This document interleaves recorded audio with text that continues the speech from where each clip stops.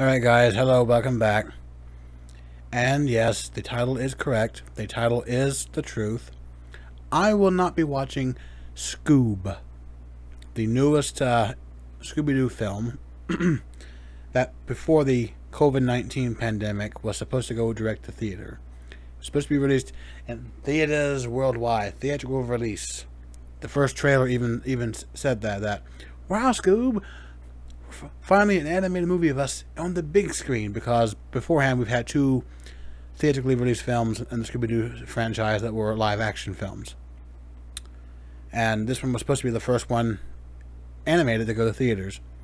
But things happened, had to go direct to video. That's not why I'm not watching it because I can easily watch it direct to video.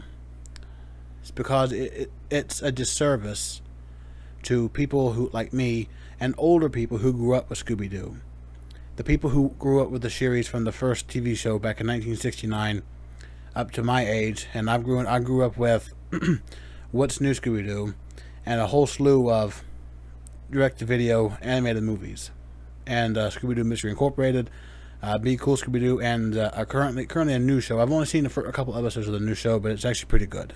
It's uh, Scooby Doo Guess Who. It's more in the style of the 1969 show. It looks just like it. Just a little more adult humor. That's why it's the first uh, series in the franchise to be given the PG rating. But this new film, Scoob, is like more of a slap in the face to people like me and people who are older than me who love the characters in the uh, Scooby Doo and the gang. By replacing the core voice actors with more bigger name stars. Zac Efron is Fred Jones. Warner Brothers. Did you all smoke a joint beforehand? I get the fuck off my screen. I'm ranting. Did you did you all smoke a big fat before you started casting this movie? Cause I don't know what the fuck you were thinking. What was going on in your goddamn money grubbing minds? I mean, Matthew Lillard was a perfect replacement for Casey Kasem when Casey Kasem retired from the character and died soon after. Matthew Lillard played Shaggy in the first two theatrically in the, those two films that I went to theater, Scooby Doo, uh, Scooby Doo, and Scooby Doo Two Monsters Unleashed. He has also been the voice of Shaggy since 2010, and these TV shows that have been on and all the direct-to-video films since then.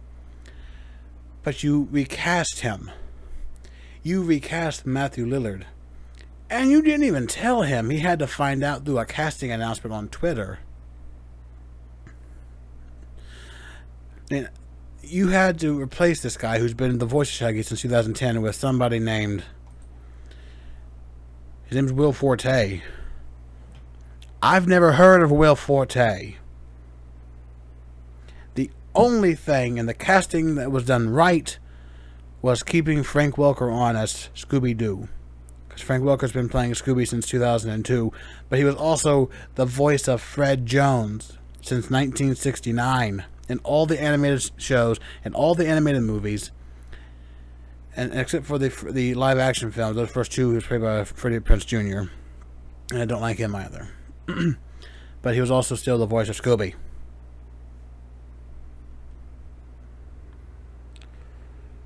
But no, for this movie, you got to cast Zac Efron. Mr. Oh, I was in High School, High School Musical years and years ago on Disney Channel. Yes, I grew up watching Zac Efron and three High School Musical films. He's a former teen idol. He's a former teen heartthrob. And now he's an actor. Just an actor. I haven't seen anything he's done recently. I didn't even know Zac Efron was still acting. I mean, this is a complete disservice, a complete slap in the face, a complete mockery of the Scooby Doo franchise. Because I, I mean, I'm not mad that it went direct to video. That's not that's neither here nor there. That couldn't be helped. But my problem is the casting is horrible, and from what I've read about the plot, it's scrambled. I mean, you've got the, the, the Blue Falcon apparently is more of the focal point of the show than the actual Scooby Gang. And it's not even the Blue Falcon, it's the Blue Falcon's son.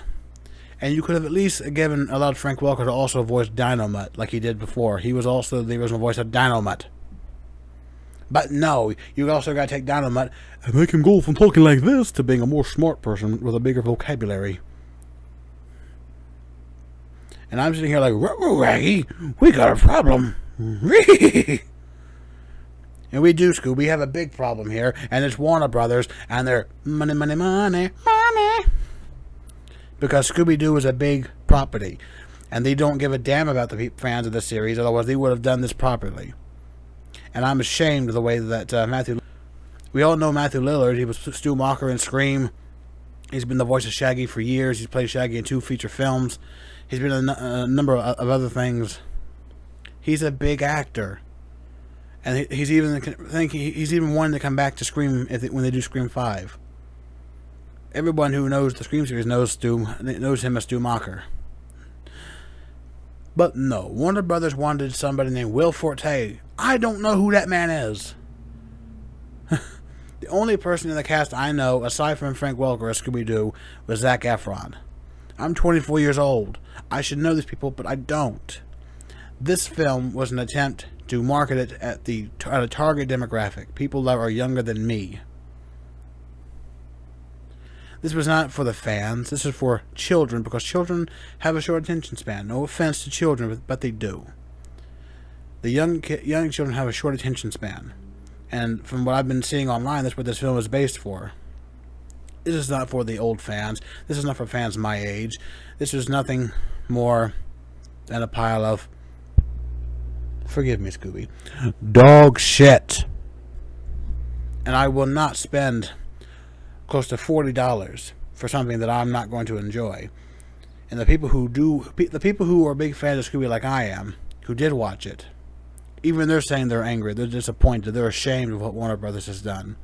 So I will not be watching this movie. I may have reacted to the to the trailers, because I, I was curious, but I do not approve of this film, at all. I spit on it. I fucking spit on it. How dare you, Warner Brothers?